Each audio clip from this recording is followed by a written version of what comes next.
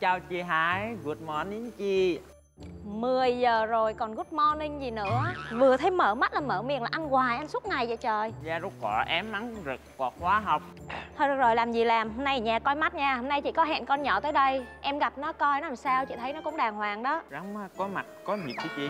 Thôi vậy đi vậy đi. Giờ ở nhà coi làm lốt giùm chị mấy thứ này Chị đi chợ chút nha. Ơ chị chị. Rồi lát nữa lát nữa người ta tới đó nha. Chị đi chợ chút nha. Chị Hải Rắn có Hải có mặt mà hẳn cứ chó cói miệt cói miệt Không thịt lệ vơ mà cứ bạc ép lệ hoài.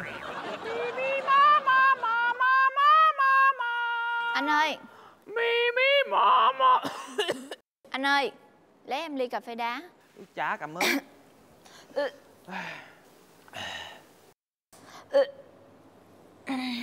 Chị ơi chị Hỏi vô ní nè Nè cho cả ăn luôn. À, Dạ dạ dạ. Chị mà mới vô quán sáng sớm Ồ lẹ lẹ gặp quán người ta. À, Tại bụng hơi khó chịu. Lấy em ly cà phê đá nha. Không được đâu.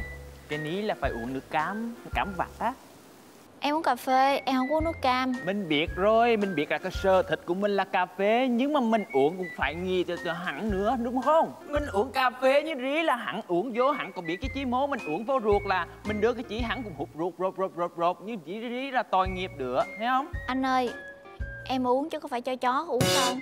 Mà tự nhiên nói hắn là làm sao? Cái ní như rí là cầu thái hi Cái cái gì mà cẩu thái? Cầu thái như rí là cho chó uống. Không ý em nói Đây nè nó con chó mà bông nè. Em kêu cà phê để em uống Tự nhiên kêu nước cam đây con chó nhà bông nó có biết uống Em đâu còn điên không Em bình tĩnh không? Rắn mà anh nói là con chó Con chó này nó cu quặng Anh cho nó không uống chí anh nói là anh nói cái, cái thái trong bụng em kia. Không không phải. Em, em em đâu có thai cái này là do em em ăn nhiều đó. Anh nói chuyện tới nhẹ tí xíu đi. Chà. em biết là em mập Bẻ nha. đi có chí mà ngày trời. Bây chưa là thế kỷ 21 rồi Không chí mà ngày hết nè, Em thấy đầy đường không? Bây chưa là xính gôn mắm mà đè ra một đứa béo nghèo nghe nữa. Mình nuôi hết không có chí đi ngày. Không phải nhưng mà em em không có người yêu em không có thai Trời chứ rắn là cái bụng như rí là không phải là cái chuyện mà hư hư hư mới có hả À, không cái hự hự là ngày nào cũng có hết.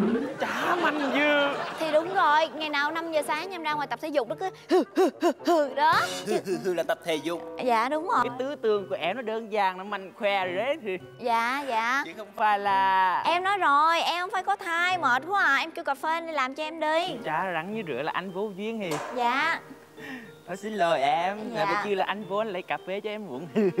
Dạ dạ. Tội nghiệp. Lúp lúp. Không có thai. Ní ní ní ní ní. Em gái ní là cà phê của em nè. Ờ Còn cái ní là xoài. À. em muốn ăn cái gì? Em cứ việc lại à dạ. cảm ơn anh. Em kêu cà phê thôi chứ em không có ăn xoài. Cái ní anh không tính tiền. Biết chưa là có xoài chỉnh và xoài sống em muốn cho ăn xoài mố à biết rồi. Nói chung là bù cái chuyện hồi nãy đúng không? Rồi hồi nãy anh có hơi là vội vã. Không sao đâu. Tại vì à, em biết em cũng hơi mập. Nhưng mà anh mốt anh đừng có nói vậy nữa nha. Anh biết rồi bây giờ là em chọn đi. Này. Thấy chưa? Tao nói có sai mố rắn hồi nay mình lượng hồng lên nổi ta bố duyên bây chưa là ranh ranh trước mặt như rí rồi còn chọi cài nữa. Ủa rành rành lên sao? Mới vô quán người ta mà đè đè đè ổi tới ổi lui bây chưa là choang sai sánh nó chỉ còn có bầu thôi. Trời đất ơi nè anh có bị cái gì không? Cái chí là bị cái chí. Em có bầu hồi nào? Em đã nói với anh rồi em không có bầu. Không có bầu mà ăn xoay sánh mà ổi e e. Ngày xưa bà mã của tôi có bầu đó. Mã nói là khi mà có bầu ăn đồ ngọt là xứng con trai mà ăn đồ chua là xứng con gái. Ngày xưa có bầu tôi là mã tôi là ăn toàn đồ chua không? Tôi rất là nhiều kinh nghiệm. Ủa nếu ăn đồ chua là mình phải xin con? Nói chung là đừng có phân tích phân tích ra thôi mà nó rối rắm là bây giờ là ăn đồ chúa là ỏi e, e là bốn có bầu này bốn năm tháng đi. Cái bụng lụp lụp chứ không phải mờ đâu. Cái này là bụng mè chứ không phải bụng mờ. Cái chuyện em thích ăn xoài sống là tại em thích ăn xoài sống em thích ăn xoài chín thôi chứ liên quan gì có bầu. Em nói với anh rồi mà. Bé này hẳn cứng đâu cứng cô cứng hồng nè tôi nói cho cô biết nha. Ngoài cái chuyện tròn xoay sánh ra ỏi e, e thì cố coi là cái bộ đồ của cô đi. Nữa đàn bà con gái mặc đồ mặc hơm như rí hì hì đặc biệt đó cái ni cái ni là để làm chi? Cái gì? Ủa này cái đồ dây ni là để làm chi? Cái dây ni là để quấn cô trái là ăn em đi ăn em đi đúng không? Nè nè anh trả, trả cho em nha. Trời đất ơi. Là anh này sao tự nhiên à, anh vô duyên quá tự nhiên váy của người ta tự nhiên cái giật cái dây ra à? Tôi không uống cà phê này nữa. Tôi đi.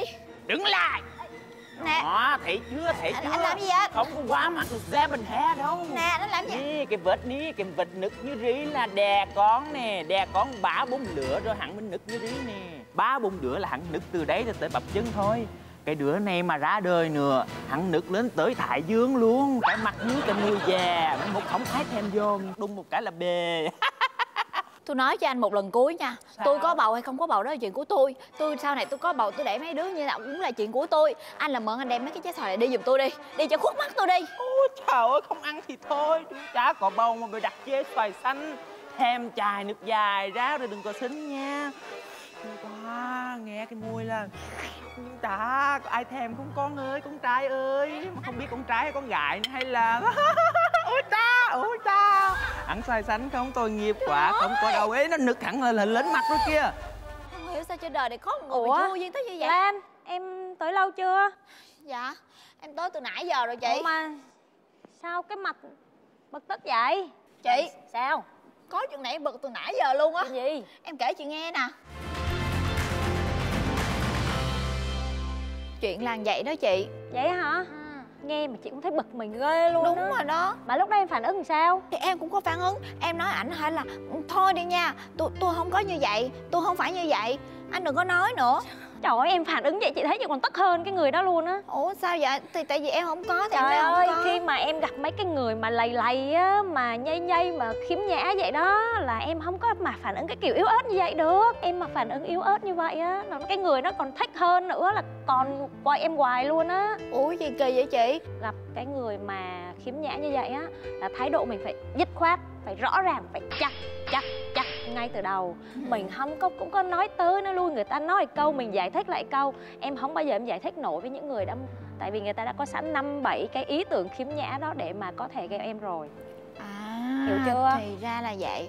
Em hiểu rồi chị. À, lần sau mà gặp cái trường hợp này á em cũng phải hiểu một điều là có những người á mình không nhất thiết là họ nói với mình là mình phải đáp trả lại cho họ bằng cái lời nói. Em có thể chọn cái cách là em đề nghị họ là tránh xa em ra. Mà trong trường hợp họ cứ sáp lại mình thì mình phải là người chủ động tránh xa họ luôn. Nhưng mà nếu là người quen em phải thể hiện thái độ ngay từ đầu luôn em phải có một cái ánh mắt này cái phi ngôn ngữ đó. Cái hành động của tay của chân này cái giọng nói nó dứt khoát vô. Ủa chị rồi ánh mắt phi ngôn ngữ thì em sẽ nói như thế nào? Người ta có hành vi khiếm nhã người ta chạm lên em thế này. Là em ngay lập tức em hất tay ra liền. Em đừng em đứng ngọ ngoại ngọ ngoại này nọ. Nhiều khi người ta tưởng người ta, em thích người ta là sao? Rồi cái ánh mắt em nhìn là nhìn kiên quyết vào chứ không có nhìn liếc qua liếc lại liếc tới liếc lui. Mắt công người ta tưởng em đang quánh mắt đưa tình.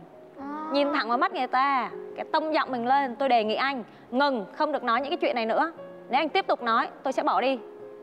Và nếu như mình đã nói với cái phi ngôn ngữ và những cái cử chỉ như vậy mà người ta vẫn không nghe thì mình dùng cái phương án mình đã nói là mình bỏ đi mình không có việc gì phải ngồi đó nữa.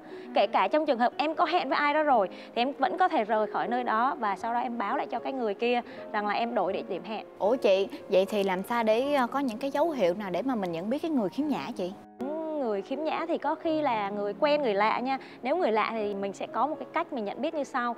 Thường người lạ sẽ không bao giờ mà lần đầu tiên gặp mình mà đã hỏi ngay những cái chuyện liên quan đến thân thể rồi liên quan đến thân thế của mình, tức là người thân, rồi các cái tình trạng hôn nhân của mình. Cho nên gặp một người lạ mới câu đầu tiên mà, em ơi sao em đẹp vậy. Hoặc là, em ơi, em có chồng chưa? Thì bằng cái sự nhạy cảm của mình mình phải nhận thấy rằng là có thể câu thứ hai, câu thứ ba là người ta sẽ bắt đầu đi mở rộng cái vấn đề ra hơn và có thể gây ra những cái cái sự khó chịu cho mình bằng cái hành động khiếm nhã của họ. Còn mà đối với người quen á, thì chị nghĩ là em sẽ phải nói rất là rõ ràng với người ta bởi vì có những người quen mình phải duy trì mối quan hệ. Cho nên mình không có thẳng thắn mà mình cắt cắt cắt cắt cắt cắt được. Cho nên mình cũng nói rõ cái cảm giác, mình nói rằng anh mà nói với anh làm vậy á tôi cảm thấy không thoải mái. Nó có thể khiến cho cái cuộc trò chuyện của mình nó bị ngắt quãng cho nên tôi đề nghị anh nghiêm túc chút. Dĩ nhiên mình nói với ánh mắt tư thế tác phong nghiêm túc chứ không có vừa nói vừa cười. Tôi thấy anh nói vậy tôi không thoải mái. Ờ nó phải rõ ràng như vậy. Còn với những người mà cũng quen mà mình cảm thấy rằng là cái sự khiếm nhã của họ mình không chấp nhận được mình chấp nhận mất đi một người bạn cũng được để tránh tạo ra cái cảm giác mà nó khó chịu như thế này. Vậy là tính ra bấy lâu nay em chịu đựng lắm luôn á chị. Nhưng mà từ giờ nha em gặp chị rồi chị đã khai sáng cho em. Chắc chắn nha sau này em gặp ai khiếm nhã là em sẽ dứt khoát hơn. Đúng rồi phải mạnh mẽ vùng lên. Không để sự khiếm nhã nó làm cho mình khó chịu. Em cảm ơn chị. Ủa mà em trai chị đâu? Ủa chú trả ba mẹ bốn con chưa về thì. À, chị em cảm ơn những cái à, lời chỉ bảo của chị. Nhưng mà riêng hôm nay chị cho em phá lệ cái nha